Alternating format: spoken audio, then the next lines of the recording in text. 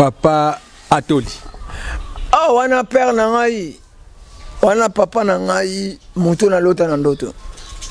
asala mpe mangunza solo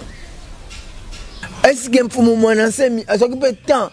ya kozwa mpe makama mfumu mpadi totuna na motuna na kinlongo na bino botanga makongo natangaka livre moko te bongo mama kitambala nayebaka ye te ata na ndoto nalota te siko nandima nandima kaka selemani par exemple ingeta kaka ingeta ntoma nkozi ingeta elobama nango partout toyebi ke no mwana nsemi moto abanda yango kaka oyo omona fo osokaki ingeta na ibobo yengeke no kiangani kiangani teka kukisa ya nzete mosisi waza ya elanda lusanzu lwa banzenza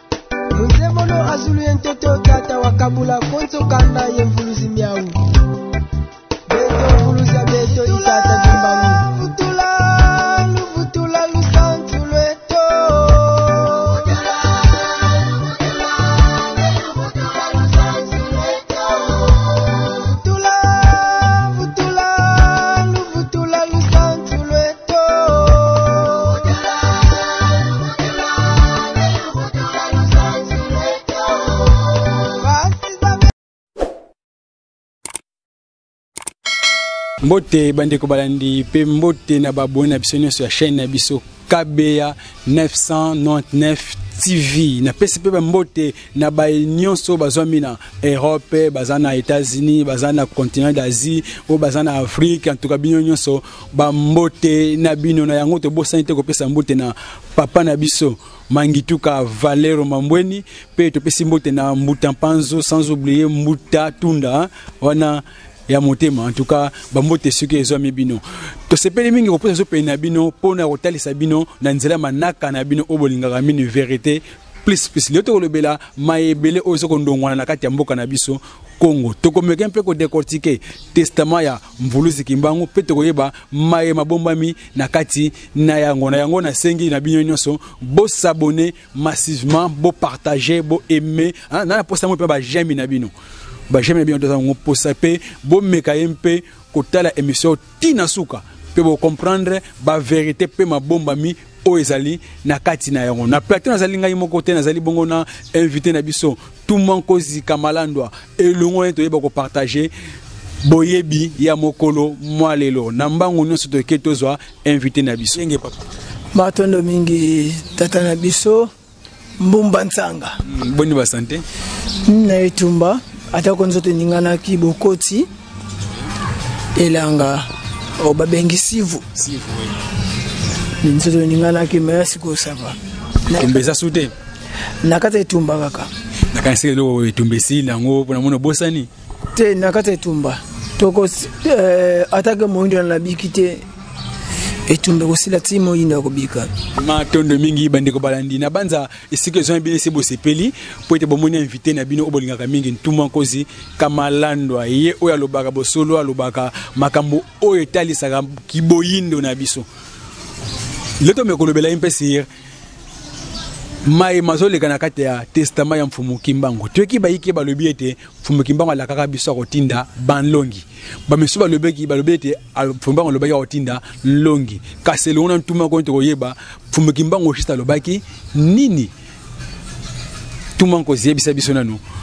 par rapport ya mayo tozoka ezo ndongwa na mboka na biso. Bamisu balobi ete Fumbe Kimbangu alobaki akotinda nlongi. Bamisu balobi ete alobaki akotinda banlongi. mpo na bino tuma nkosi tokembanga alobaki nini matondo mingi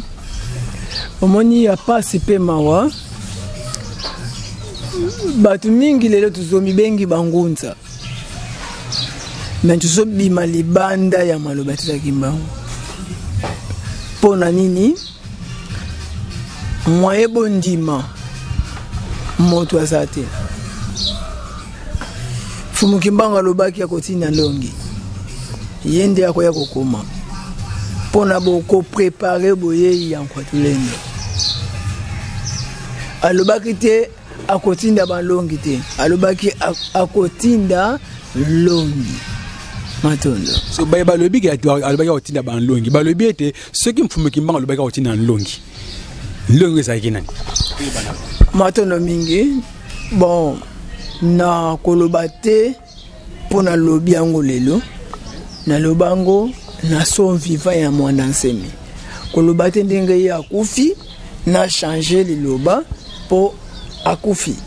te longi eza mfumu ne mwana nsemi longi mfumu nkusu te papa kozi te eh, mangongele te eh, papa menga te longi eza ne mwanda nsemi mankozi longi ezali ne mwanda nsemi qu'est-ce qui nous prouve ke mwana nsembe ye nde longi oyo mvuluzi kembango atindaki matondo mingi papa oyo elembo na ye papa role ya joue parce mfumu kimbango alobaki longi akoya konsenye trois pouvoir soko na biso nyonso nani asenye soki biso nyonso oyo atindaki balongi apart mwana nsemi nani ensenye trois pouvoir oyo lelo tomoni eh, fumule mwana nsemi ateyiki bonzambe esika tozosambela mbila nkwa lunungu zinwala momvita yo asila mwana nsemi ademontre na plan science abimisi science ya bayindo oyo oh, lelo akomi na niveau ya lisango ekoma gaze ndika ekoma bombe lelo mwana nsemi na plan politike atelemisi bundu ya mayala oyo ezali na inspiration kibokongo na biso omoni trois pouvoir pouvoir scientifique politique religieusement biloko misato oyo ezali mwana nsemi aremplir yango eza na bato mosusu balandi mwana nsemi na plan politique eza bato mosusu balandi mwana nsemi na plan religieuse eza bamosusu balandi mwana nsemi na plan scientifique omoni trois pouvoir euh, nakolobaka ata ntango namona ntango nakomaka mpa na ye naza moko ya bangunza oyo bato ya bdk ebele bayinanga par rapport ya motuna oyo ngai natunaka nkaka parce que ba, ba, na, na, na, na son vivant ya mwana nsemi naza courage ya koyebisa ye kaka soki oza te okotika beleka wapi bato ya beleka ebele bayina ngai omonaki nini toke wele bokonzi to alingaki bafinga nga ti ekomaki na liwa ya mfumu na mwana nsemi moyen tu makozi akoma eza te parce que nakanamaka deja mpo na komimetre kaka ko respect moko boye ezala nde omoni mfumu na mwana nsemi na hopital ti abelaki namoni ye te ti akufi tosali ka croisement yazokende biso tozonga totana ye na lokala naleli kaka na lokala mais ti bamatanga nyonso ezalaki tu makonzi azalaki te parce que nalobaka liloba moko oyo bandeko abeleka bayaki kocomprendre yango te me na nsima lelo bakomi kopesa nga rezo antu ah, mokozi olobaka pourtant nalobaka palais royal Mwana Nsemi, na ba, na ba occasion nyonso oyo azwi na chance ya vie depute deux fois mais atiki BDK libanda atiki bango na, na, na, na boulevard atiki bango na balabala mpo na nini oh, bato ya BDK bazobenga palais royal palais royal atanke palais royal eza palais royal te eza famille ya mwana nsemi eza ya bana na ye lelo beleka après 5 ans 10 ans bedeka eza su place ya kosangana ntoma koyo boni boni okoloba ete mwana nsemi atiki bedeka na nzela tandis ke tomoni bilongo mwana nsemi atiki bilongo ebele matono mingi bilongo ebele bilongo ebele na baplace nini na baplace nini soki natala lelo soki mfumu nkusu lelo akufi atiki, atiki akotika vuvuamu na balabala te parce que mongo kongo eza place oyo mfumu nkusu asombeli tata kimbangu bana, bana ya, ya, ya, ya, ya vuvamu okomona ata mfumu ne mwana eh, mfumu nkusu aza te omona mongo kongo matalimaima nkosi kaka na maloba na yo oyebisaki biso ete nlongi aza na droit kosala kinlongo te seke yango mpe amona eke non batika na balabala mpo aza na droit kosala kinlongo te matondo mingi alingi atonga centre centre de formation esika ngai natokendaka kalasi alingi otongaka kalasi kalasi ya kotangisa omoni lelo omoni lelo soki otamboli na sangunza yango oyo napesi bino mission eh, soki batata bapesi nga makoki na opesa bino makoki botambola bokobanda mwanda bokota babilongo ngunza nyonso botuna mikro botuna bango iso ya mfumu kimbangu chaque ngunza koya na makanisi na ye mpo na nini parce que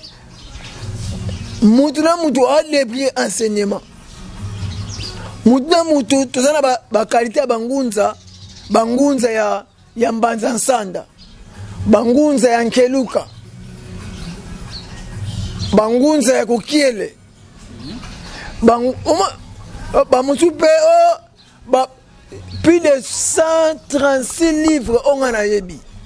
na ba 136 livres nyonso bapirate na bapirate ya solo oza nango te ya omoni etekama mosu etekama na baeuro mosu etekama na badolar ale likambo atataki mbangu evoila ngani tuma nkozi soki bino soki bino bakoloba ete mwana nsemene elongi ya kongo nayebi te selon eh, makongo papa ya papa na mama ya mfumu kimbangu koma baba koma bana matondo mingi est-ce que yo ndenge tovandi awa tovandeli awa bomoto ya tata kimbangu ti tovandeli awa tuni bongo mpo bimbo olobi ete mwana nsima ye nayaki koteya kasi nakomi kaka na mononi olobaka ete tata kimbangu aza na tata te aza na mama te bongo soki nlongi akonga alobaki ke non eza nkenge lofuma soki na nani bino bokondima te bokondima yango te matono mingi bon euh, nalobaka ete ngai ata kimbangu iso ata kimbangu ebani na congo central te kimbangu ya liboso eza kimbangu esprit azalaka nzoto te azalaka mopepe se mopepe wana papa na ye nani kimbangu fula mwana aki molimo aki esprit hmm, lokola ngai ti lelo soki oyebisi ngai histoire kimbangu papa na ye intel mama na intel elobaka eza lokuta akosaki biso eh, makongo mpe omoni makongo makongo eza na ba Nakoloba te makongo eza na 100% vrai. Eza pe na ba erreur moko boye. Boni boni mutu oyo mfumu Kimbangu atindi comme étant longi ake kosala ba erreur. Matolo mingi parce que ntango akomi buku wana ah. abungisaka mwa inspiration. ntuma nkozi ntuma nkozi a chaque temps ozangaka makambo te akobungisa inspiration ya ndenge nini moto aza wana tata kimaka olobela letoi koma boye koma boye akobungisa inspiration ya olenge nini matolo mingi mpo eloko ezangaki ye ntango balobi eh, longi ya koya mpo ye nde akokoma makambo mosusu ye alinga akoma alinga azwa yango mpe na bangunza oyo bazalaka na ntango na ye mpo kotelema mwana nsemi te ezalaki vidi te alinga koloba nini omoni mwana nsemi ye nde azalaki lokola ajouaki eh, role ya écrivain kaka mema ye oyo alinga akoma alingi azwa yango mpo banani mpo bato bazalaki mpe ntango wana ayaki obligatoire ya kobenga bangunza ntango wana boya papa kimbangu apesi oyo nini papa kimbangu apesi nga boye boye tala nga maye oyo mfumu kimbangu apesi nga bakongolili yango ye akomi est ce que eza na yango normal to loyer leke non mutu oyo mfubuke mbango atindi comme étant longi ye aye mpo ateya na bangunza oyo akutaki na oyo baza sikoyo boni boni akozwa soki etuna makambo na baye oyo balekata nde bapesi émission mpo ete ateya bato matolo mingi bapesaki ye ntango babengi longi est ce que longi longi asalaka mateya longi ye alingi azwa makambo omoni mwana nsemi role ntango balobi nakotinda longi akoya kokoma longi nde alingi alongela me azalaki na bagrand initie bazalaki na ntango wana oyo oh, lelo mwana nsemi fala konsome bango alingi abenga bango eske eh, nazwi ka ndakisa papa mangongele ape na makambo moko boye mpe ya makasi oyo ayaki na yango eske mwana semi atikala kobenga ma, eh, ma, mangongele yaka pesanga makambo oyo nazokoma buku moko boye pesanga oyo tata kimbangu apesi yo ata profete ya toli eske mfumu mwana nsemi azwaki mpe temps ya kozwa mpe makambo ya mfumu mpadi omoni me ntango ye aye azwaki makambo azalaki na sira molimo na ye kaka yango osali mpe gafe mosusu ya lelo matondo matondo mingi bandeko balandi na banza esika ezwami bino bozoyoka oyo nyonso ntuma nkosi azali kobimisa eske ezali ya solo eske ezali lokuta to continuer kolanda émission na biso boyeba kodécouvrir vérité esika toyali kokende tuma nkozi yebisa biso nano na kati ya makongo nini oyo ya malamu oyo apresanaka te matelo mingi euh, na kati ya makongo eza baprière baprière est ce que bino mpe na lingomba na bino bosala bapriere makongo oui naza na, naza na mbuta sabu oyo azalaki pembeni ya, ya mfumune manase minazwa ye mpo tozwa mwa bapriere bapriere eza vrai eza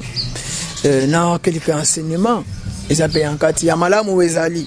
ngai nalobaka makongo ekozala na verité ekozala ata na ba 60 pourcent 40 pourcent nde eza bafaux 40 pourcent ya faux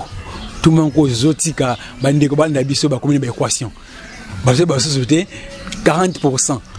ya faux 60 pourcent ya vrai est ce que na 40 pourcent wana pesa biso kaka exemple ata ya 4 makambo oyo omonaki na makongoki wana eza fond matondo mingi bongo soki nalobi yango lelo mhm. soki nalobi yango lelo bongo role na ngai nakojoue nini ntango tokovanda ta beronde soki baefwasa yango omoni te role na ye kojoue ekomonana te ozalaka bovanda table ronde table ronde ezali oyo tokovanda bangunza tovandi motu na motu tokoyeba kolongola yo olobaki ntuma kozi oyo tomonaka mpa na yo longola yango eza ya bien te so ngai nalobi yango lelo omoni te soki ndeti ntuma kozi so lobi ke non makongo eza na 60 pourcent ya vrai nini ezangi totuna na motuna na kinlongo na bino botanga makongo natangaka livre moko te soki botangaka livre te mpo nini nde 60 pourcent oyo ya vrai oyo mwana makongo botango na kinlongo na bino natanga ja priere oye kotanga priere kaka ntango mwana nsemi atiki biso nde omoni ntango kotanga priere mbuta mbumba oyebi naza sele ngunza oyo oh, lelo nakenda mpa mwana nsemi mfumune mwana nsemi pesa ngai bayembi baya koyemba mpe asi koral ya ntima nse eyemba mpa na nga na po nabengi bamakesa ba, ba ya beleka baya kofome bamakesa na biso bayaka mpe baye baya omoni omoni ntuma nkozi ndenge aza boye tuma ko ndenge aza boye aza moto moko boye eh, taka moto oyo alongola mfumu nkusu na mongo kongo aye kosambela mpa na ye bino omonaka ngai omoni po mfumu nkusu ngai akamati eloko moko mpa mfumu nkusu ya motuya mpe oyo mpe mwana nsemi azangaki kozwa mfumu mwana mfumu nkusu ngai nabengi ya ye mpe nazwi mpe mwa ndamba mfumu nkusu naza nango nde omona nga boye nazwaka mwa ndamba mfumu nkusu naza nango se na mateya ya na makongo oyo omona kozonezaka bapriere makambo mosusu eza te bapriere ba, ba na keleke enseignement mwa ndambo mpe ezali enseignement nini par exemple ingeta kaka ingeta ntoma nkozi ingeta elobama nango partout toyebi ke no mwana nsemi moto abanda yango kaka oyo omona fo ozokaki ingeta na ibobo yengeke no ah tuma kaka osi yango wana wana bambote kani lopesa bambote kasi ekoyaka mateya ya ya omisunzula okomisunzula monokumbwa me ntuma okozika malandwa eh, mwana mama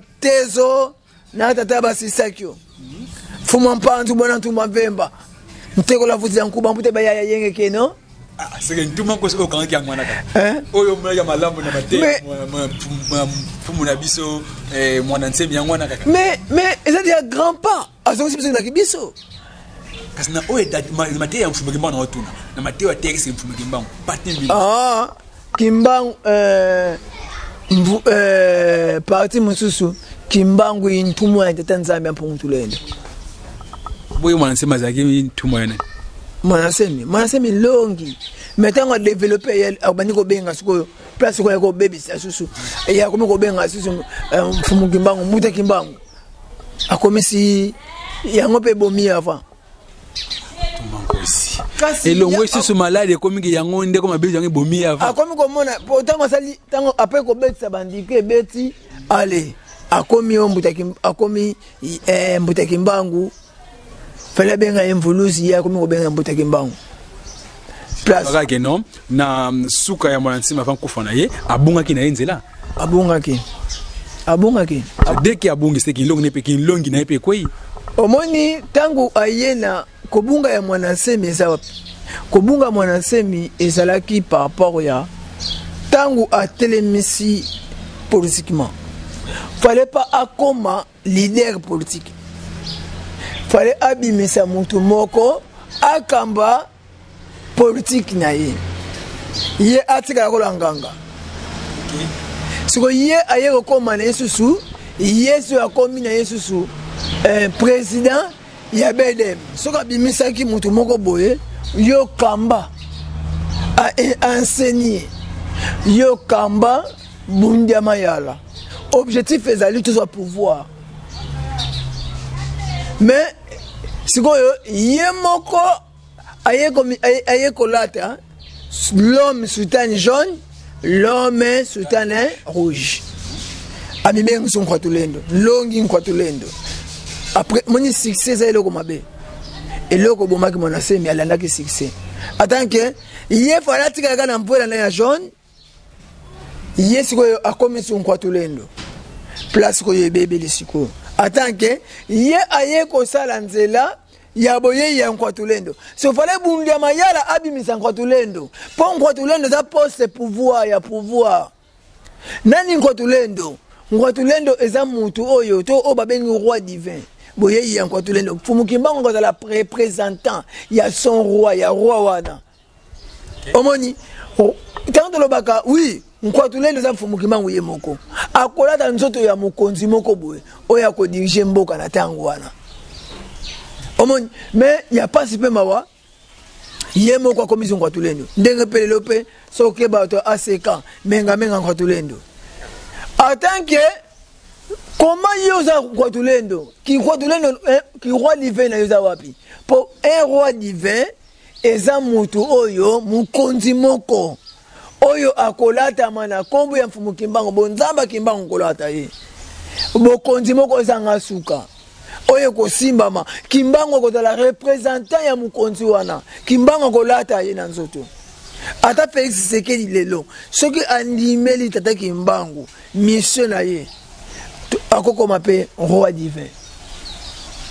matondo mingi matondo mingi bandeko balandi na banza lelo toza na kati ya testament mfumu kimbambo totemeli mingi siri nlongi tobakokende yango malembe malembe ti tokosilisa testament nyonso ntina suka ntumonkozika malandwa mwana nsembi ye nde abengami nlongi ya Congo. Kaka ye pe mibengi roi divin. Qu'est-ce qui a fait que papa Meye pe mibenga Nlongi pe mibenga pe roi divin na mokolo malelo? Mutu nyonso ngunza nyonso mibenga roi divin ya miyebi te. Lolenge nini? Mutu nyonso pe oyo aza na terrain ata masambukidi tia mibenga ka onga nkwa tulendo nga nkwa roi divin bamiyebi te yo soki olobi kolobi bamiyebi te mais losola ozongi mingi nsima ntuma nkozi osutenaka ide ya masambukidi ide ya masambukidi Oh, est-ce que na stade de match omonaka elongi na nga ozalaki te mais okendaka kuna na soutenaki idée ya un parti politique parce que nga naza boye nayebi yango na kingundisme sans politiquement tokoresir mission oyo te parce que idée na biso esenga totambusa mboka na idée na biso il faut un dirigeant moko congo il faut dirigeant moko boye badirige yango na mutu aza na connaissance si, si, si kingunza soki un dirigeant moko boye adirige mboka oyo oyo ayebi mission ya papa kimbangu wana mission na biso esili ntango nayoki mfumu ne mwana nse mfumu masambukidi asali parti politique naza moko nakenda koluka ye nga nakoluka ye napesaka ye mpe likanisi me ya mawa mingi ako yango mikolo natiki suki na mandefu mpo bomonaka nakomi mokolo nayebisi ye fumu ne fumu fumu masamukidi ide ya parti politiki esengeli parti politiki oyo todera yango biso nyonso bangunza ezala parti, parti politique na biso nyonso mais bengisa tous les représentants légal wana ngai nazoloba na fumu masambukeli benga barepresentant légal nyonso yebisa bango tala idée na ngai eza boye tala parti politiki nasali yango yango nabengi bino bapapa na nga bolobi nini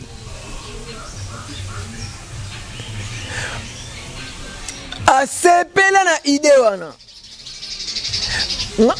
apesi ngai mokumba akoye na likambo wana pesa nga likanisa asala nini nga to invite bato na komba mfumu kimbangu papa masambukidi azwa vraiment invitation azwa invitation apesi nga bainvitation plus de, plus de 50 invitation nabandi apesi nga na 30 mine napesi bato balingi kotambola baketika bainvitation ba tomikome na date ya invitation te lokola vendredi jeudi secrétaire général azo benga nga o oh, papa ke france benga bato opesi benga bato opesa invitation torapporte mokolo mosusu ti lelo abenga nga te ata aeskize yango omoni lelo ekenda wapi babimisi komina depute tala force ya ya parti wana ndenge eyelaki force moko boye mais lelo eza wapi ekomi kutu parti ya kosoutenir démocratie atant que parti politique ya bangunza ekosoutenir démocratie te tozoya parti politique wana esengeli eya na idée ya koboma système politique oyo mondele amemeli biso toya na système politique oyo ya biso oyo oyo ekoya na système ya royaume congo mais ekenda wapi matelo mingi soki otali mpe parti wana ekweyaki mpona azangaki koyoka maloba ntuma kozi ndenge mpe mwana nsemi bunda mayala estce bunda mayala eresi mission ya bunda mayala nini ekóma nango business parti politique ya business eyeka kosoutenir baza bamembre ya union sacré oyo eza na kati ya système ya démocratie omoni kasi bino bolobi ete eh, papa na biso nde mwana nsembe ye nde longi ya kongo aye koprepare mpo nlongi mfumuki mbango alobaki te nlongi akoya mpo na koprepare boyei ya nkwatulendo boni boni ye papa na biso nde mwana nsembe akei mais kwatolenda meyeli te euh, kwatolenda osi ayaki déjà papa nkosi tumba nkosi tumba nkosi nabenga ata papa nkota ntumba nkosi nkwatolenda si ayaki aza pe aza déjà ana kinshasa kombo na ye nani kombo na ye de la show avenir aya na kinshasa awa mwana nsemi atiki mboka na maboko ya nkwatulendo papa nayebi ete émission na biso eza verité plus tolobaka bosembo yebisa biso nkombo ya nkwatulendo mwana nsemi si atikaki maboko ngai natanga bakombo yo afirme biso ngai natanga bakombo yo afirme ngai papa na biso atoli atoli ngunza eh, natanga bankwatulendo kwatulendo papa na biso atoli ye nde mwana nsemi atiki oh. ala ngunza profeta atoli matoli papa menga ye nde nkolo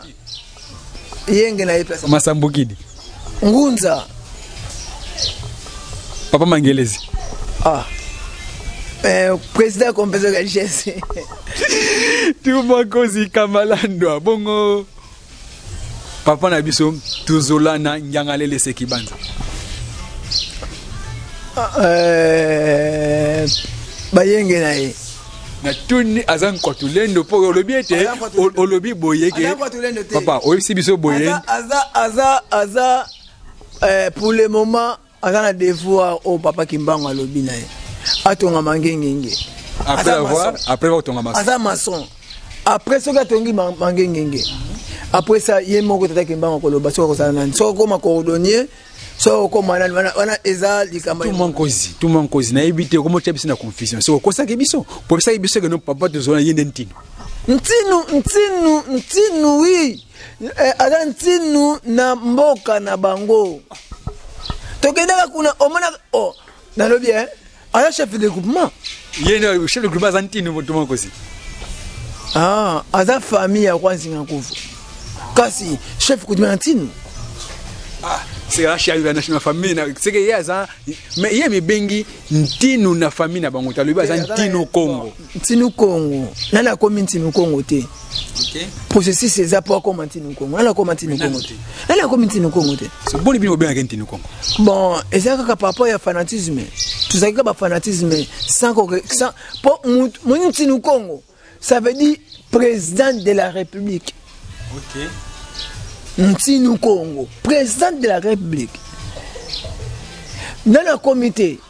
devant eza nanu papa kimbangu alobaki na ye atonga nanu mangengenge kasi na baye nyonso yango natangi olobi ke ntino aza te kasi na monoko mpe boyebisi biso ke non ntino esi aya so yebisa biso ntino oyo papa na biso aza deja na kinsasa kombo na ye nani aza deja na kinsasa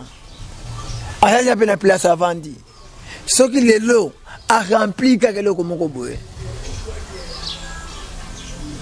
eske oza ntuma nkozi te ah, eh! ngai naza ntuma nkozi kasi fumaki mbamba kolata okomi mpe te nakozali kozala président ya république te mpona naza conseiller eza role na ngai te eza role na ngai te nakoloba mpe moni lelo bon nakoloba mpe président kisekedi epa aza mpe ntini so bomonaki euh, lobilobi président kisekedi lelo akomi kozonga na kibiso soki lelo azongi soki lelo azongisi kongo na lettre k soki lelo alongoli drapeau ya congo ndenge lelo boyokaka naki france alobi faut tochange constitution soki azwi constitution ya royaume congo azongisi tokobenge nani roi te seke selon tout moto ebaka ke non roi divin eza felix tshisekedi mpo na maye azosala soki kaka akoti na kimpeve atataki mbangu akomi na pembeni ya kokota na kimpeve wana soki akoti kaka na kimpeve wana roi divin roi divin wana kutu ya, ya jete omoni eloko annonce na france ya koloba constitution oyo fo tochange yango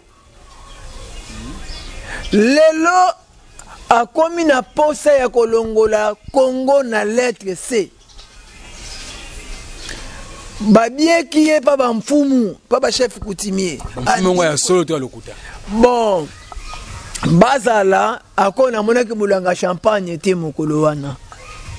namonaki kaka biloko ya bokoko kiti ya mokie bayebisi avanda président eleki monene ekiti eleki moke ntango babendi yango avandi yango omoni eh, po eh, roi divin to nkwatulendo ti tomibengaki yo baroi divin roi divin eza place te ndenge nga nakomi na ndako na nga kaka boye nalala nalamuka oyo oh, nakomi roi divin oyo oh, mpe veye oyo oh, nga nde roi divin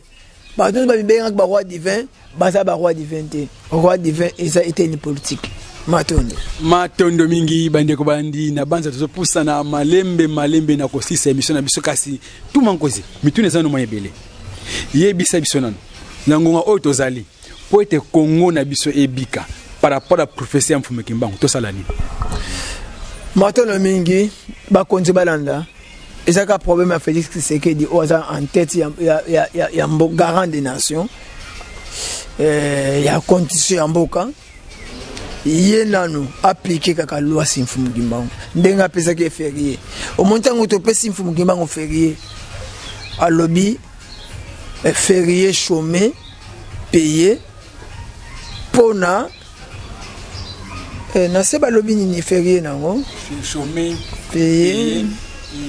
aye mpo na liti ya mfumu kimbangu ezali ah, mpo na sagesse ok même mfumu kimbangu conscience africaine so fo président kisekedi ayeba conscience africaine oyo mfumu kimbangu ayaki kobundela nini Mfumu Kimbangu liti na ye ezalaki mpo tozonga na royaume tozonga place tozongela tobungelaki en fait omoni papa na biso alingi abunda achange constitution mpo asekomise ah, soki lelo aresi kochange azongisi congo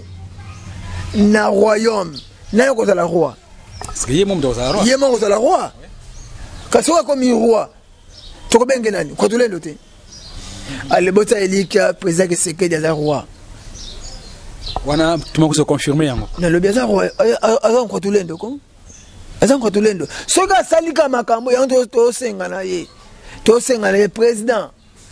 kala omoni na 2000 kolinga tokoma na 2028 te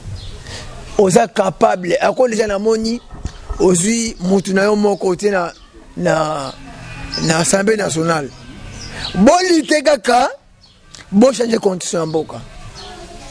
tolongwa na, na, na constitution ya, ya ya demokrasi tozwa constitution ya royaume oyo président si bato ba, ba, si ekomama nango kala soki otuni janini mabunda aza nango soki otuni président kabila na kingakati bapesa ye yango tambo mwamba aza nango omoni boyi na diaspora te mpo na makambo malanga oyo malanga eh, oyo akudeta christian malanga na kati ya diaspora eza na bato tata kimbangu apesa mayele wana ya constitution baza wana na kati omoni nkombo efe oyo esalemi ya malanga ebayise bino te diaspora parmi ba diaspora ya solo solo baye na liti bazali yango ngai nazoloba eh, bokoma na bino te me bakongomani oyo deja apa kimbangu apesi bango biki bakoma constitution ya royaume congo baza deja matondo matondo mingi bandeko balandi ya émission na biso na banza bozali na esengo esika ezwami na maye papa na biso asili koloba mpo na yo koresume yango lolenge bon euh, parmi bato oyo ngai atake ntumu akozika malandwa nasutenaka bato oyo bayaka na eloko ya motuya na ignoraka eloko ya motuya te yango omoni ntango tosalaki marche mpo na makambo ya constitution ya mboka parmi ngunza moko wana azalaki za ngai moko nayaka ngai moko oyo nalobaki yango mpe soki boyoki te tokotelema me namoni maloba oyo tosalelaki marche président de la république aconfirme yango ayebi amonisi yango ete constitution eza eza ya malamu te yango tokosengana tata ekolo bopartage émission oyo ekomela ye alanda yango abenga bana mibali wana abenga bango comment faire mpo kongo eke liboso mais soki asali yango président kisekedi tokobenga ye roi divin kwa tulendo matondo matondo mingi bandeko bayina banza tokomi bongo na suka ya emission na biso kasi ya mboto kabwana ntuma nkozi na bapesa bakombo misato yo obanda koloba yango mpe opesa bango mbote tokokende napesi yo nkombo ya papa tozolana mon père ya motema wana ya motema wana ya motema papa na ngai mfumu wa ntumba mvemba kakotonga mosunukofti kuvemba souvenir neza moko ebele alobaka mbwa molumbu batunaka ye te oyo ya mwasi to mobali bayenge na ye eh, tokende na nkombo mibale tozomona bongo bazolakisa biso papa atoli awa ah, wana père na ngai wana papa na ngai moto nalota na ndoto aza mpe mangunza solo toke susu ya mosika tomoni babakisi biso akomi bale nazomona kuna tomoni bongo mama kitambala nayebaka ye te namonaka ye kaka azali ngunza ntuma nkozi ah. ah, mama kitambala opesaka bambote ntuma nkozi mama kitambala ah mama nazwa chance ya kokutana na ye te mais namonaka mosala asalaka abikisaka bato bien mais aza ngunza mama aza ngunza oyebi yango mama kitambala oui. oui asaka ngunza ozolima na baduti boye ndenge nini mm, ata na ndoto nalota te siko nandima kaka nga nayebisi ka aza ngunza matono mingi ako yo oyebi me nga nayeba ye te na nayeba ye te kasi tomoni sikobaza bacourage baza bacourage baza obandaka malamu obebisaka kaka baza bacourage aleleka tomoni susu kuna tozomona komo mosusu mama samba alakisa biso kuna ya ngunza lufu ah, ngunza lufu ah. nayebi te tobopesaka bambote oexplike te mais soki oyebi ke aza ngunza opeseke ngunza lufu bambote na yo esili na yango ngunza lufu bayenge ondimi aza ngunza bo nayebi motolo na ye te namonaka nde alataka mvwela basango nayebaka te soki mpaza ndambo sango to ndambo nani matondo mingi bandeko balantuma ko tokomi na suka mai eloba mpo tokabwana ah, oh, soki otiki ngaka boye mpo nalimbolaka se limbola toyoka eh, ngunza lufu aza bien namoni euh, asala mosala na ye matono mingi namoni mpe chaîne mpe ezokende bien félicitation courage eloko na kosenga na ye kaka azalaka na mabondeli ko comprendre likabo oza nango mais sava za ngunza elobeli ya ngunza olobela sava aza ngunza ondiri ozondima e nalobaki kuma papa atoli nalobi e omoni ngai alingaki fo ngunza ngunza eza ngunza oyo abimi na ndako nayebi mbuta lufu nayebi place abimela te nayebi te asemuka to awuta na lingomba moko boye nayebi te mais papa ya toli asemuka différence ezali bandeko balandi na banza mpo na lelo tosuki wana tokomeke mpe koluka mokomisi olobela sire bavrai ngunza na bafo ngunza elelo na ntuma nko toyeba nani oyo tokobenga ngunza ya solo mpo elobela ntuma nko tozomona comme si ya différent soki tokei na maloba nalobi motu oyo asemuka ye abengi ye ngunza me bamisusu ayebi te baza bangunza upa mpo na lelo ezalaki sujet wana te tumakosi yo to na sujet wana te yo te lobeli kaka si testament ya mfumu kimbangu exemple ya ngunza papa menga menga aza ngunza wana kutu e, e, eli kukuma te eza ngunza mpo asemuka asemuka awuta na ye na lingomba awuti na neyo azwami mpeve fumu nkusu awuti na dkb aza ngunza te aza ngunza te mpungu ya ngunza te awuti na dkb secrétaire général ye mo mpe ebengaka ngu alobaka ye aza nesongi ya nzela aza ngunza te ah, te omoni olukaka bapolémique te nga tuma nalobaki kaka opesa bambote yo nde moto oluki makambo nini alobaki kaka eno opesa bambote esili eh, nani nani ngunza ngunza tumankozi tumankozi tumankozi ngunza tumankozi pesaka bangunza bambote esili na yango bangunza bambote napesi ngunza te yo otangisa bakombo nga napesa bangunza bangunza onga nayebi apa mengamenga menga. Ngunza solo. Ntuma kozi nga moko pe ngunza solo. Euh, nani susu? Yesu na nzila ya nini ya ya ko ya nini ya bundu kwa nanga bangola. Papa Nsanungu Nkuma. Ah, papa Nsanungu Nkuma auti na classe ya papa Menga Menga. Aza ngunza. Aza ngunza. So papa Menga Menga fo aloba.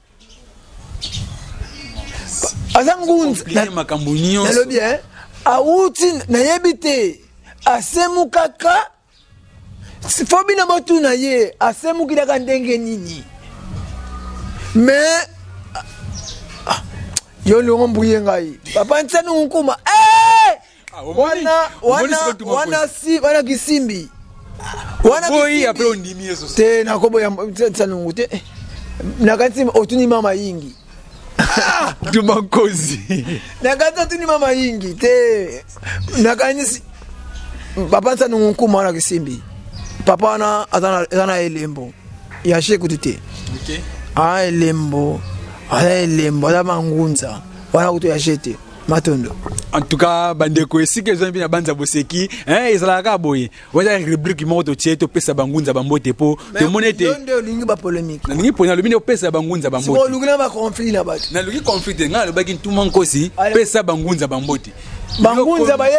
yango na retire Oh. napesi bino bayenge bango baluka mai bapolemike bapolemike napesi bangunza nyonso bayenge na bino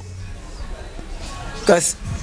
kata emission matondo mingi bandeko balanda banza tout ce qui commence bien fini bien elongo na ntuma nkozi kamala nde tozali baki kopartage plateau ya mokolo mwa lelo kasi na baye nyonso bazwi biso na retard boyeba ete mpo na mokolo mwa lelo tolobelaki maye oyo ezali na kati ya testament ya tata kimbangu sir ilongia Congo tomeke mpe kodekote toyeba nlongi azali nani mpe nlongi yango ezalaki nani tata na biso ntuma nkoza bisi biso ete nlongi ezalaki bongo papa na biso ne mwana nsemi elongo na bino na banza toyoki biyano nyonso oyo asili koyanola mituna oyo biso totiki kotuna ye na yango napesi mbote na bandeko nyonso baza na bisika ya bapaya oyo bazwami bamboka ya lolenge na lolenge congo démocratique congo brazzaville partout dans le monde napesi bino bambote sikoyo ezwami bino na yango na kobosana mpe te na, na ngambo ya kamera tozalaki biso na kamera rumen na biso yaya sambala tomoni bongo mpe eh, papa na biso mbemba mbuta panzu eh, bozali ebele soki nakotanga bino en tout cas toyeba kosilisa émission oyo na retard alors na bino nyonso mbote esika ezwami bino kiaya mpe tobosani te mama na biso ndaiwel topesi bambote esika ezwami bino tokutani na mikolo mizali koya soki wamba mpungu tulendo akopesa biso makasi matondo mingi